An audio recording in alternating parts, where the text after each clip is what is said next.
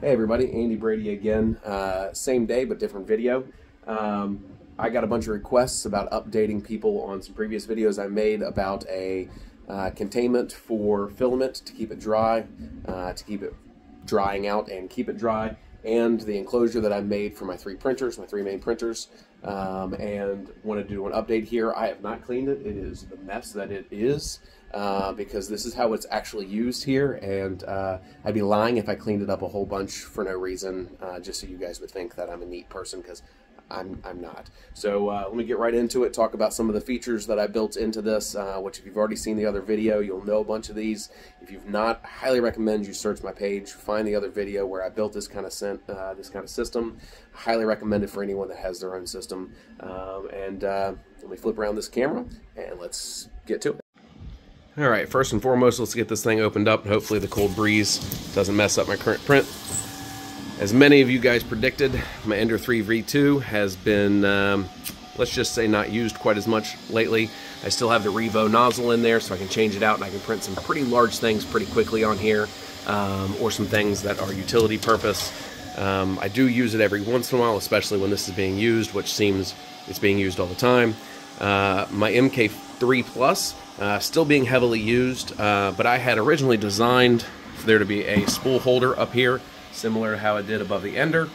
Um, and I never ended up actually doing that just because I was able to reach in here and grab these spools pretty easily. Um, I still plan to do it eventually. It just became a little bit lower on my priority list. And then just a reminder, I still have my, my one single AMS unit. I'd love to have four of them up here. Uh, but you'll have to like and subscribe, and I'll have to get to like 6 million followers before I can do stuff like that.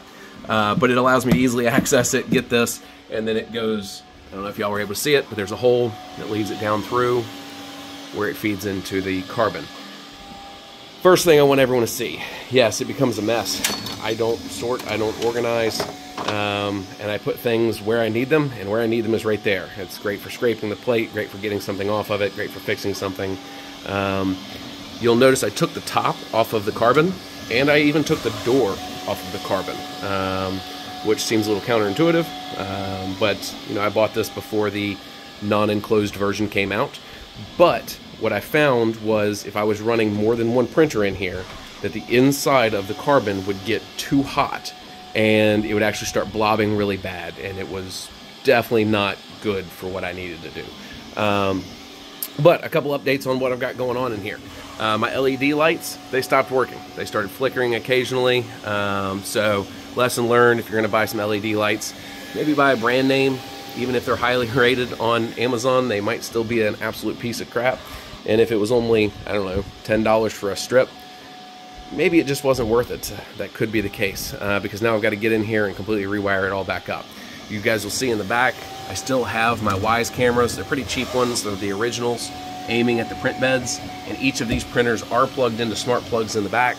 So even though the carbon will alert me to spaghetti defects most of the time, um, you know, I'm able to view these two printers at least remotely and turn them off remotely with my Wemo smart plugs. So if I uh, start a print on one of these, I usually check in on it a couple times. And if it starts to mess up, I can cut it off remotely, which is a complete loss, but at least I can do that rather than having a spaghetti monster or a potential fire. Speaking of potential fire, something that was not in my original video is these devices back here. Jogoswall, Jogoswall, don't know how you say it. I talk a little bit about it in my video that I just uploaded the other day about the drying tent. Um, but these are actually made to go in the engine compartment of a car. And if they hit fire temperature, and you'll see there's little holes right here where it blasts out a fire retardant. And so I've got one of them aiming this direction and one of them aiming that direction. And I've got one extra that I was planning on putting in there, but after talking to some people who've used these devices before, they said it was complete overkill. So I've got an extra one. Not sure what I'm going to do with it yet. Probably when I build my next enclosure, put it in there. Um, the Prusa and the Ender seem to do just fine with the plastic being completely closed up on here. Whenever I do close these, because we are in a garage, I don't want the cold temperatures. You know, when I do close it up, it makes it a lot quieter, as you can see and it does hold that temperature in there. Uh, I've got an unfinished ceiling with an exposed vent right there that blows right on my 3D printers, so it destroys a lot of my print quality uh, quite often.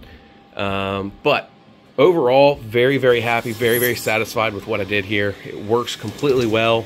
I really don't have anything to change except that I'm probably going to take one of these really bright strip lights and build that in here so that my video feeds are a lot better um, and my uh, my time lapses from my Bambu can end up looking a lot better. Um, I haven't really changed much of anything on the actual printers. Um, I do still use them specifically for different things. Uh, my Prusa, if I'm printing something and it's going to take you know 23 hours, but I'm not in a rush for it, and I know I might use my Bambu more often, I'll use that.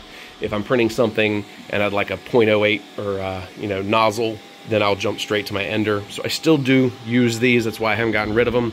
Um, and I'm kind of getting to the point where I'm thinking maybe I want three carbons.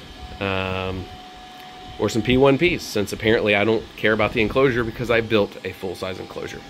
But let's see. That's it for that. Wasn't trying to make too detailed of a video. I just know people have been asking me, how is it working out? Uh, what would you do different?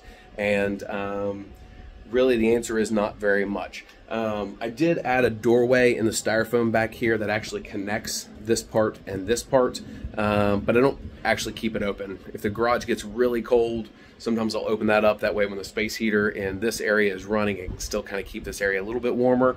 But typically, if I'm running at least one printer in here, the temperature is perfectly fine. Uh, if I'm running two, it is fantastic. There's absolutely no need for any additional heat. Um, so do me a favor, like and subscribe. Um, I'd love to keep posting more information about 3D printing. I'm trying to do as much unusual and different stuff that I'm not really seeing people do, uh, even though I might see some similar things.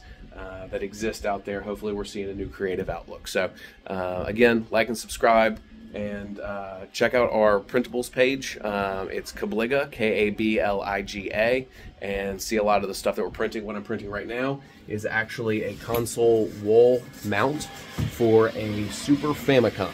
Uh, so, yeah, if you're a Nintendo person, I've got one of those printing right now. I'm actually currently designing it. Uh, so that hopefully I'll be able to hang it on the wall, get it off the shelf, free up a little bit more space up there. So thanks for watching, like and subscribe. Uh, I'm going to put the link to that Jogoswall on uh, the description. I do get paid a commission on that, so if you're thinking about buying it, please buy it from my link. I'd really appreciate that. And uh, see you next time.